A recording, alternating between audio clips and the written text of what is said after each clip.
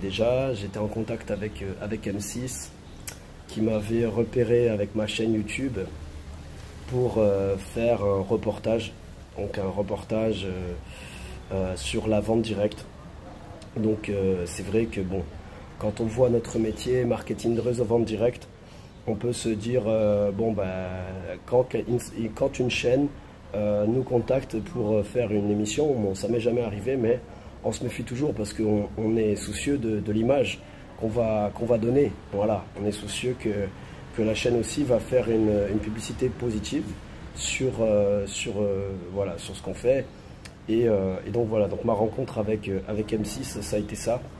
Il y a eu une prise de contact, voilà, ils recherchaient des profils dans la vente directe, donc des personnes dans la vente directe, et ils m'ont découvert avec la chaîne YouTube. Voilà, ils ont, ils ont regardé mes vidéos, ils ont regardé tout ce qui se passait et tout. Ils étaient, euh, étaient super contents, donc euh, ils m'ont appelé. On a fait plusieurs entretiens téléphoniques de plusieurs heures. Euh, vraiment parler assez longtemps en fait de, de, ce projet. Et, et, et voilà, c'était très enthousiasmant. Moi, j'ai pu raconter mon histoire par rapport à là d'où je viens, mon travail, comme quoi moi j'étais employé à l'accueil de la banque un métier assez simple au final et que j'ai pu gravir les différents échelons et que j'ai commencé à être euh, un vendeur de produits. Euh, voilà, vendre euh, simplement. j'ai jamais frappé à la porte de, quelqu'un que je, ne connais pas, jamais eu à faire de porte-à-porte quoi, mais vendre juste par l'intermédiaire des, amis et des amis des amis. Voilà. S'il y en a qui sont dans mon groupe WhatsApp, si vous pouvez partager dans, mon groupe WhatsApp le direct, euh, voilà, vous copiez le lien en haut et vous le, partagez dans, mon groupe WhatsApp pour dire que je suis en direct. Désolé, j'ai pas, pas pris le temps de le faire. Euh, voilà, et en fait, euh, bah, ils m'ont beaucoup interviewé sur ce que j'ai fait, sur les choses et tout. Ils étaient tellement super contents de, d'avoir rencontré un profil comme le mien, avec mon combat contre la maladie, avec mon combat contre la maladie, avec mon combat contre ma vie de famille qui a été compliquée et tout et tout, orphelin à l'âge d'un an et demi. Enfin voilà, il y avait, y avait toutes ces choses qui ont fait que, ben, euh, euh, il y avait toutes ces choses qui ont fait que, euh, voilà, ça s'est assez bien passé. Et après, ils m'ont repassé un coup de fil et ils m'ont dit, voilà, on vous a sélectionné sur plusieurs profils et on vous a choisi vous pour être le personnage principal euh, euh, le personnage principal de, euh, de, notre, de notre émission. Voilà. Donc, voilà, un reportage sur la vente directe qui va passer sur M6 et qui, qui, va raconter, donc qui devait raconter mon histoire. Voilà. vous allez comprendre pourquoi je, ça n'a pas eu lieu. Voilà. Donc ils sont venus, ils, sont, ils, ont envoyé des caméramans chez moi, qui ont filmé ma maison, euh, qui ont filmé tout, ma voiture, tous les diplômes, les preuves de succès, les chèques, les machins. Euh, je leur ai tout montré. C'est vrai qu'ils posaient beaucoup de questions aussi sur le niveau financier. Voilà. Moi, je ne voulais pas trop le, mettre en avant parce que quand les gens ils voient le niveau que j'ai atteint, ils se disent que c'est vraiment impossible en fait de faire pareil. Alors que moi, ben, j'ai démarré comme tout le monde et sans particulière capacité ou, connaissance ou, facilité ou rien de tout ça. Euh, j'ai juste eu un peu d'audace. Et je dis un peu, hein, je dis pas genre je suis un gars super audacieux ou quoi, non, j'ai eu un peu d'audace et je me suis lancé. Bon bref, euh, ils ont tout filmé chez moi, les diplômes, les, les ceci, les cela, les chèques annuels, ils ont tout regardé. Euh, chez moi j'ai une armada de diplômes, voilà, même un diplôme en marbre où il y a marqué mon nom avec des lettres en or et tout. C'est c'est magnifique. Et désolé pour l'avion. Et, euh, et en fait, voilà, c'était euh, bah, c'était trop pour eux. C'était beaucoup trop. C'était trop, donc euh, ils m'ont dit est-ce que tu peux pas aussi, enfin ils m'ont dit d'abord est-ce que tu peux pas nous présenter aussi quelqu'un comme toi qui est un homme? Parce qu'ils voulaient valoriser le fait qu'il y a des hommes qui font de la vente directe. Donc voilà, ils m'ont dit, euh, voilà, est-ce que, euh, est que tu connais par exemple quelqu'un qui est un homme aussi et qui euh, n'a pas atteint le même niveau que toi? Voilà, qui a atteint un niveau un peu plus simple, un peu plus humble et qui fait un complément de revenu. C'est là que moi j'ai recommandé Jean-Luc. Parce que Jean-Luc, voilà, il est débrouillard, c'est un excellent vendeur, c'est quelqu'un qui a atteint un bon niveau où il gagne déjà 1000, 2000 euros avec LR. Euh, voilà, puis euh, c'est quelqu'un, il voulait l'accompagner sur de la réunion de vente. Voilà, donc l'accompagner dans des situations où il va chez les gens, il expose les produits et les gens lui achètent les produits. Et ça, il sait super bien faire. Donc j'ai contacté Jean-Luc. En plus, c'était le profil idéal parce que il est maçon de métier, euh, il est travaillé aussi à la mairie, donc il avait déjà deux métiers et LR, ça a été genre sa troisième activité. C'est inspirant de pouvoir voir ça. Et Jean-Luc, comme vous l'avez pu le voir aussi, il a un handicap, c'est qu'il a une main qui est coupée. Euh, euh, et, voilà, il a été président du club de rugby, euh, il a fait beaucoup de, choses. Et, voilà, donc, donc, donc voilà, donc j'ai recommandé aussi Jean-Luc, qui lui était un profil super, super. Voilà. Donc moi, je devais être l'acteur principal du, film, voilà. le, le, profil principal qu'ils ont filmé, donc euh, ils sont venus me filmer euh, toute la journée chez moi, donc du matin jusqu'au soir, euh, raconter, m'interviewer, regarder tous les trucs, les machins, les ceci, les cela. ils sont allés aussi à mon séminaire, le séminaire que j'avais organisé à Marseille, où on était plus de 150. Voilà, avec les reconnaissances, les témoignages de succès, tous ces gens qui étaient là, le caméraman, il était fou il disait Waouh, mais c'est incroyable votre business, c'est trop bien et tout. Il y a une telle mixité sociale, il y a, des, il y a un tel enthousiasme. Le, caméraman, il était fou. Il a dit De tout ce que j'ai filmé de toute ma vie, j'ai jamais vu un truc pareil. Il était, ah, il était, il était fou, le caméraman. Et, euh, du coup, moi, je me suis dit Bah, ça se passe super bien. Voilà. Et, euh, euh, et voilà, donc ça a été deux jours de tournage assez, assez long. Voilà, assez assez long pour moi qui suis ni un gars de télé ni un gars de voilà. Donc moi je connais rien en tournage je tente pas des trucs. Je sais pas non plus euh, voilà. Moi je parle avec le cœur euh, je peux je peux te dire n'importe quoi maintenant mais je suis pas un gars qui va préparer des trucs et tout. Je suis quelqu'un qui parle beaucoup avec le cœur et euh, beaucoup dans, dans l'instant T voilà. Dans l'instant T voilà.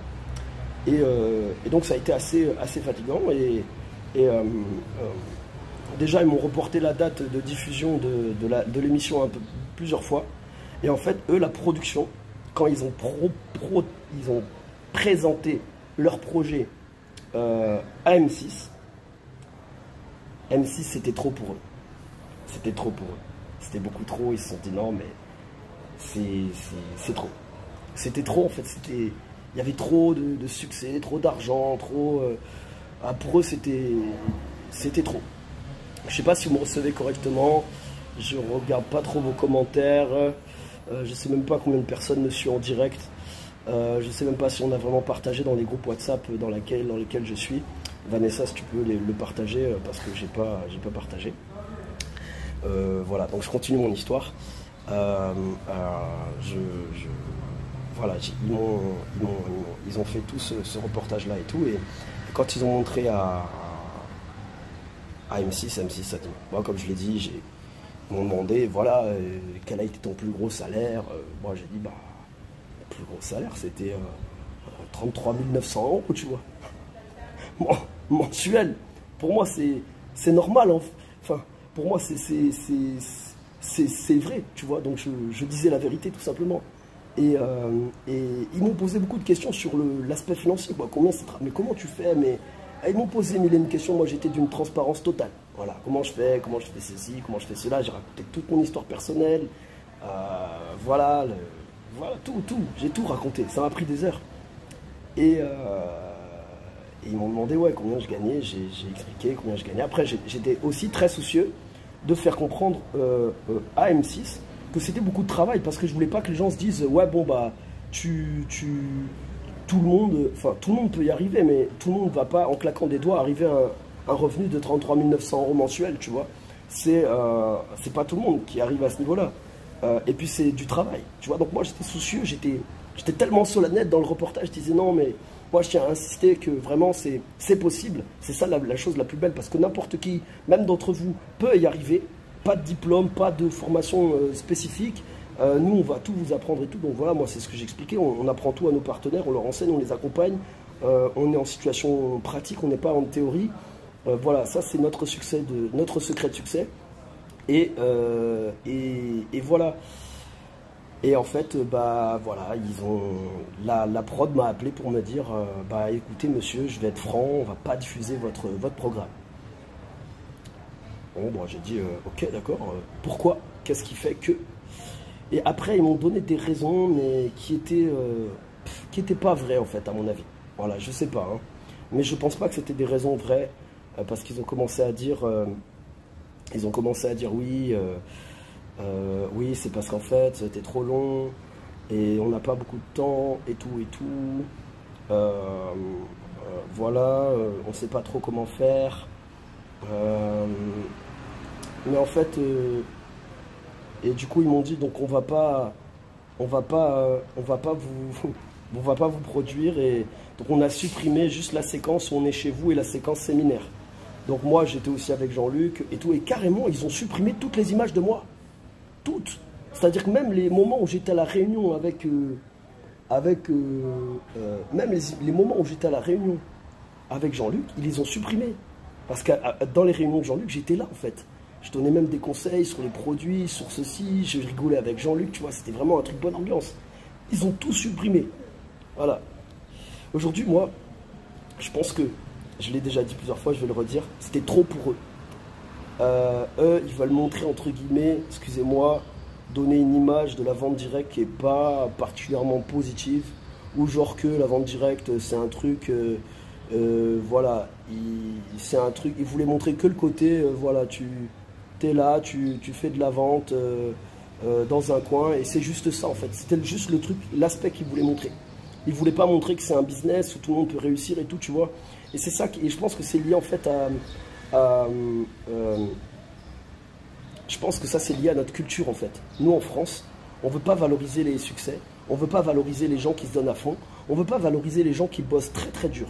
On veut comme confiner les gens dans une manière de penser où euh, voilà, on ne veut pas montrer des histoires de succès, on ne veut pas montrer des gens qui gagnent beaucoup d'argent. C'est comme si on ne veut pas inspirer les gens. Je ne sais pas si vous comprenez, ça va super loin en fait ce que je suis en train de vous dire. Et c'est ça que j'en ai, retenu. Parce que voilà, je, me suis dit, bon, j'ai réfléchi à tous les, toutes les, euh, les théories possibles, tu vois, pourquoi Et euh, voilà, eux, ils peuvent pas dire officiellement que c'est ça, évidemment. Et vous savez, ils, font des, ils ont un discours, on va dire, politisé où ils te disent, ouais, ils t'emboucanent, tu vois, comme on dit chez nous. Euh, mais la vérité, c'est ça. C'était que, bon, bah voilà, c'était trop d'argent pour eux, c'était trop de succès, c'était euh, est-ce que euh, notre reportage va pas être critiqué à cause de ça et tout et tout? Ou est-ce que eux, ils ont envie de faire la pub, entre guillemets, d'un concept qui marche de ouf? La vérité, c'est non, pas du tout. Pas du tout. Ils n'ont pas envie de montrer quelqu'un qui réussit euh, de ouf. Ils n'ont pas envie de montrer que c'est possible. C'est limite ça, tu vois. C'est comme si tu fais de la rétention d'informations, en fait. Tu vois? C'est comme si, en fait, tu, tu, tu veux pas montrer, en fait, les gens qui réussissent déjà. Qui réussissent vraiment. Moi, je vous explique, dans l'air, il y a tout le monde qui gagne de l'argent. Voilà, tu montres les produits, tous les gens qui montrent les produits, euh, bah, ils gagnent 200, 300 euros minimum, tu vois, ça c'est vraiment le strict minimum.